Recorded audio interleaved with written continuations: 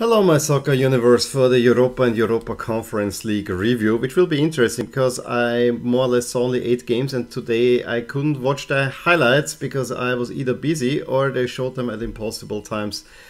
And yes, you mean like uh, yesterday evening, I was not so concentrated as I'm usually at, at these uh, two competitions because uh, at the same time there was also the Women's World Cup qualifiers where Austria unfortunately lost in Scotland in overtime and so they are not qualifying for the first time uh, for a World Cup, which kind of was a little bit of a, downer.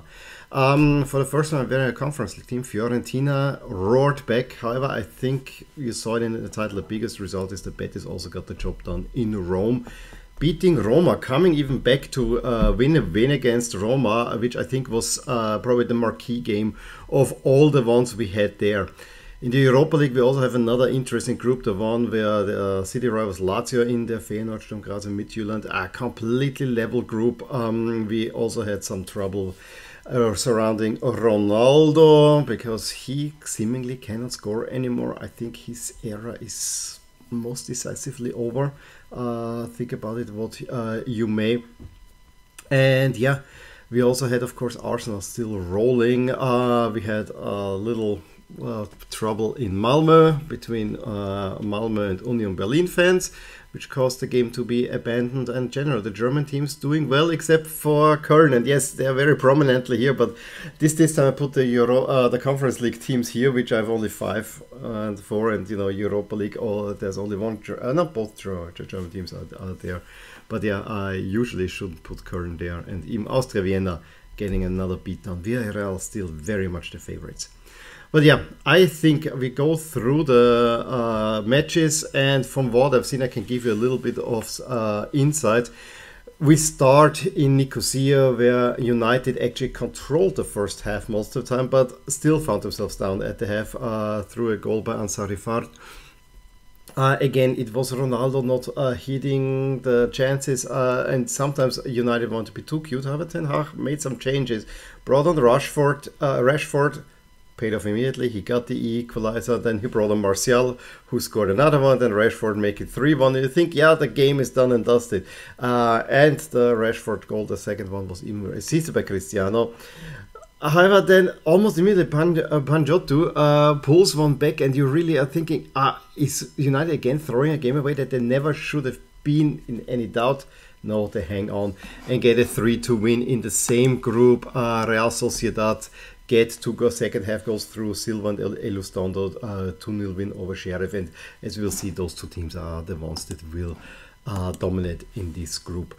Um, the Group F of the Europa League, Sturm Graz against Lazio. Sturm actually dominated the first half, just couldn't get the ball in.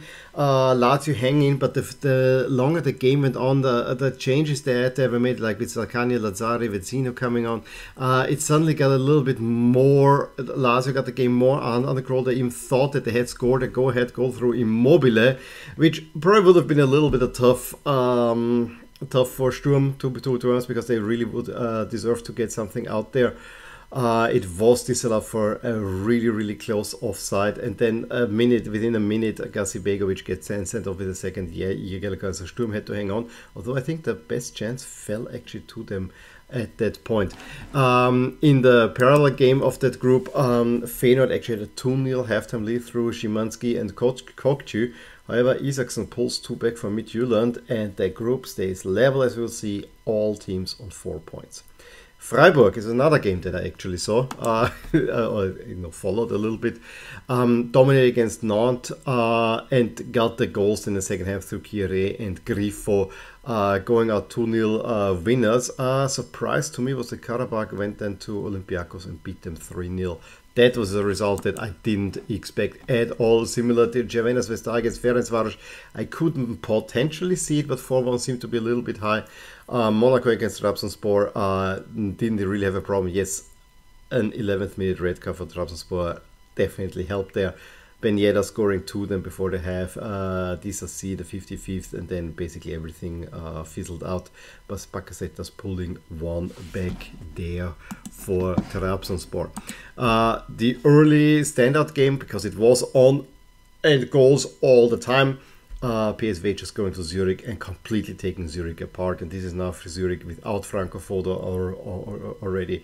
Uh, it doesn't get much better for them to to us. Vertessen scoring the first two in the 10th and, and the 15th. And it was really whenever Zurich tried tried to attack, uh, PSV somehow cleared and then with superior speed just outplayed Zurich all the time.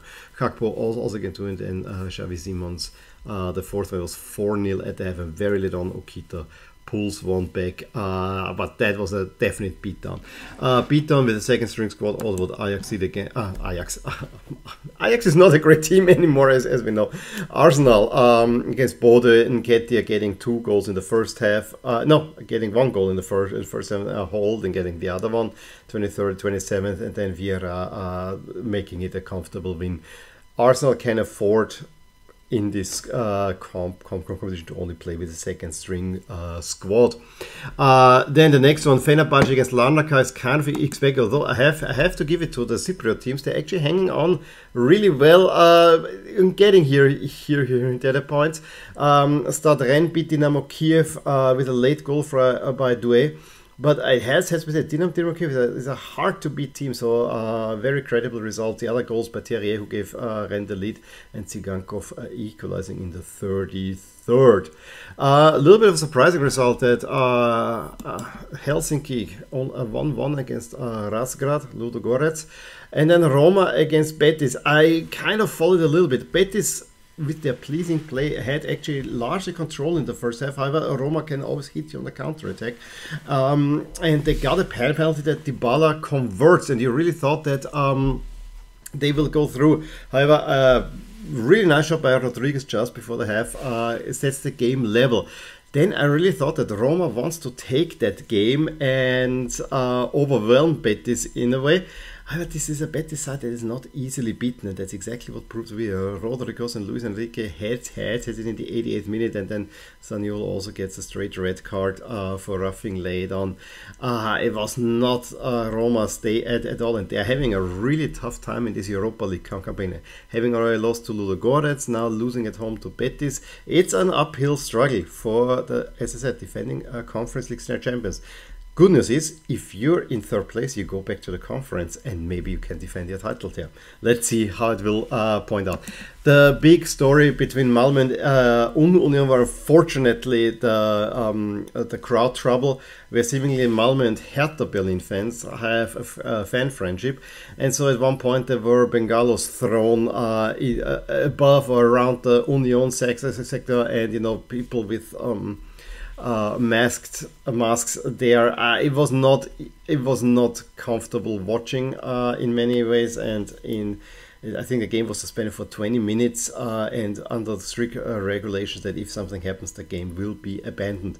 I don't know now. I, I, I don't want to uh, make now any uh, judgment of who it was that there was a trouble. It was definitely around the Union Berlin fans that there was the, in the in around their sector where there was the trouble.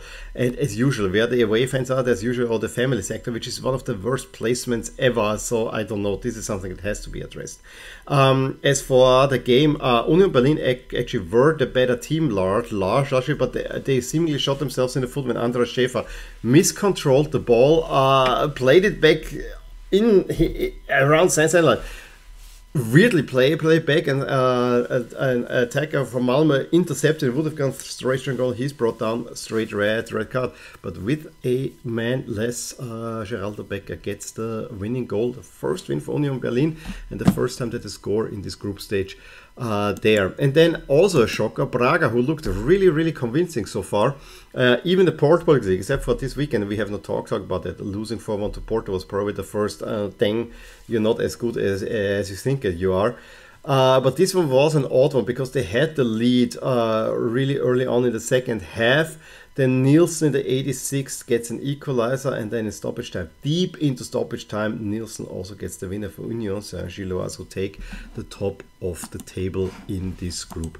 So uh, if you look at, at the standings here, and again, you see uh, to, to the right the performance bars in a way Arsenal and PSV, despite not having played each other, are already very well in control of their group. I think it will be those two teams coming out. And I said it at the draw already. These are two of the most highly rated teams that they're in the same group. is a little bit of a travesty, to be honest. Um, Fenerbahce is now um, level with Ren uh, taking over on goal difference. Remember, they played uh, a, a, draw. Dynamo Kiev still winless, although I actually think they're a much better, better team than they're made out to be. Uh, Roma already in trouble, still favored over Ludogorets, but they will have to get a result in Bulgaria and hope that Ludogorets uh, drop some points. So I don't think this is as straightforward as it looks like. Betis, though, looking comfortable already. Not mathematically qualified already, but uh, it is really, really hard to see them not qualified. That's why the 100%. Um, Union Saint-Gilloise also ahead of Braga. And for Union Berlin, the good news is now that they can probably with, with, with the second win over Malmö, they could draw level with Braga unless Braga wins and Union Saint-Gilloise. But uh, that means that the group is over wide open. So let's see uh, if there will be some more um, you know excitement in that group coming. Um, then the groups Real Sociedad, Man, Manchester United. I don't see Sheriff or Omonia challenging there at all. And then we have the crazy group, all teams of four points. Yes, and it's then down to rating. Of course, Sturm and Midtjylland wouldn't would be outsiders, but I wouldn't see it beyond them. I actually have a feeling that it will be one of those two that will make it in the Norgas and one of Feyenoord and Lazio will go to the conference. Um, I would though expect that Sturm Graz will finish last there, although I'm not really hoping for that, you know, just for Austrian points. Um, Freiburg fully in control of, of, their group, and Karabakh seems to be the better team than Nantes in their kind of, you know, on one side surprising, on the other side, you know, uh, Karabakh have been in a Champions League, there's a lot of money behind them, so maybe it makes some sense. And then uh, Ferencvaros, uh, despite being so heavily beaten, are still top of their group. So rather odd group that one as well. Um, as for the favorites in the Europa League, we have Arsenal ahead of Betis. Sounds about right. Those seem to be the strongest teams. Freiburg can go get in there. Real Sociedad, maybe Manchester. But you know, you also see there are few teams from the Champions League dropping, and that's always something. We have here the Ajaxes, the Barcelonas, the Juventuses uh, that come in there, and most importantly of all, Sevilla and the new new coach. Maybe the coach wants to prove himself and win a Europa League for Sevilla because that's what you do when you're a new Sevilla coach. The next matches are basically the reverse fixtures. Um, again, I think Betis Roma is the marquee fixture. It's an outstanding fixture, uh, but you see already Union Saint Gilloise, or Braga, uh, that has quite some weight behind it. And then uh, if I look at everything in the Feyenoord Lazio group, will have weight, not Freiburg, also. So there is some interest in the game, but I think everything pales a little bit in comparison to have uh, the Spanish Cup winners play the Europa Conference League winners, despite it being already an away win. Over in the Conference League, Fiorentina hit back big with a 3 0 win at Hearts. That was sorely needed for them because they had a really really bad start to their campaign um, being outdone uh, away from by, uh, by Başakşehir here and also only managing a 1-1 against RFS 3-0 gets them back on track Mandragora Kouamé scoring in the first half and then with a man more Jovic even adds a third one um, RFS only a nil-nil draw, which actually shows that RFS from Latvia is actually not a bad team. West Ham uh, have to battle harder. Anderlecht, you know, Belgian opposition is not easy opposition all. I think they would be right up there with the, you know, with the second tier leagues that I'm covering, and I think the Belgian league is, is, is a better league than the Austrian league, unfortunately. Scamacca getting the goal after the Paqueta uh, assist, so big win for West Ham there as well. Um, Silkeborg 5 0 Warschauer is, was, is a result. Uh, Lech Posen is much better than I expected to be nil nil against Hapoel Beersheva, and Villarreal just had a filter with Austria Vienna. Uh, Baena brilliant goal. Uh, I mean, he takes it out of there and directly volleys it in. Uh, wonderful goal in the 18th minute. Um, however, in between Austria Vienna once hit the Woodwork had, had some chances. I mean, if they can equalize there, the game might go different. But as soon as Danjuma makes it 2 0, there was only one way that's going, and later on it got really ugly with Morales scoring a hat trick. Austria Vienna, they have to they are learning a lot. Let's let, let let's put it that way. But it's not an easy group for uh, them. Uh, nice winning at Slovácko. Uh, Köln losing with a second string squad uh, to um, Par Partizan Markovic scoring a goal. They were pressing then late for an equalizer, but it never came. Uh, and Partizan have also made it 2 0 at one point. But yeah, a little bit disappointed. But I think Köln is definitely uh, focusing more on the Bundesliga uh, to maybe qualify for Europe again. I think this, this is because they, they are in financial trouble. And they definitely would need uh, the money. Now, uh, on the second page, as I said, it's always the lower groups are not so interesting, but there are two outstanding results in there. The first one is Vaduz getting a 2 2 draw at Dnipro, having him a 2 1 lead early in the second half. Uh, however, uh, Pichal Jonok uh, gets then an equalizer in the 78th minute, but it's already second point for Vaduz pretty good. Uh, another hard, hard fought win uh, over a super team was uh, for uh, Z, but I think it definitely the one result the six is Ballkani 3-4 over Sivasspor. Uh, it was 1-0 for Sivasspor early on, then it's uh, the turnaround 2-1 for Ballkani. They had a 3-1 lead. Um, Sivasspor equalized in the 94th minute and then in the 94th Krasniqi gets the win for Ballkani, which I think uh, there is their first European win. Also, Djurgården's winning at Ghent was also a little bit of a surprise result. Similar to Cluj winning at Slavia. That I did not expect as well because I think Slavia usually should, should be a really good squad. And then the other surprising result is that Basel lose at home to Slovan Bratislava. Also one that was not expected uh, this way. Uh, overall, uh, the standings here again, uh, and Fiorentina are now uh, the two teams that are moving out of their group, but uh, still a little bit to play. And as I said, our RFS is a, a, tough cookie to crack. West Ham should cruise through. I mean, uh, mathematically, they are not yet qualified, but uh, really, really, they're already qualified for next round. As is Villarreal, who are the class of their their group, and it's probably between Lech Poznan and uh, Beersheva who will move on. I think a very interesting group is Group D. Uh, actually played not that, that badly, only one, it's probably too little. Uh, Partizan, Nice, and Köln. Uh, it's a three-way battle of who moves on, uh, and uh, Slovácko is definitely not out of it yet, although they're the lowest rate, rated team in there. Uh, AZ also more or less qualified over the, uh, the Dnipro. I, I wonder if Vaduz can get anything from there. Uh, and Ghent suddenly finds them only in third spot, and Djurgårdens with seven points there. I remember they had this wild win over Molde, so that's also relatively interesting group. Slavia and Cluj are on the bottom, but it's the same group as we had the Group F in the Europa League. It's the Group G, all at, at four points, wide open, and even all the um, goal differences uh, with zero. So it's basically if you've scored more goals, you're on, you're on top. So that makes it really, really interesting. Uh, very uh, interesting group uh, just from the way this is all set. And Basel, despite the loss, are still ahead in their group, but you know, still uh, not secured, but they look like the favorites going through. Speaking of favorites, Villarreal still overwhelming, but West Ham is coming up as well. AZ has a work to play, but similar as for the Europa League, where Champions League teams are coming in, there's some Europa League teams coming, like Union Berlin, uh, not, but you know, uh, you actually would look at Roma because they probably would take it more seriously, but uh, it's not such a big step. Um, still, the Europa League teams, uh, uh, the Conference League teams are more pro- prominent in the ranking of the favorites there.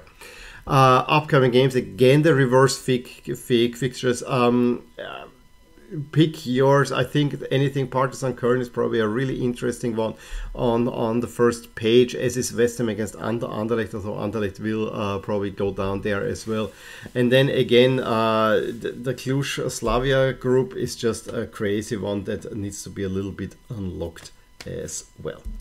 So yeah, that was it from me haven't seen that much and still 20 minute video sounds good please let me know anything that you want to add in the comments below give me a thumbs up if you enjoyed this video subscribe to my channel if want to see more videos like these and i will talk to you soon bye Hey there, I really hope you enjoyed this video and if you did, here are some videos and playlists that you might enjoy too. Also, please consider subscribing to this channel and hitting the little bell icon so that you get notified whenever something happens in my soccer universe. And with that, have a wonderful day.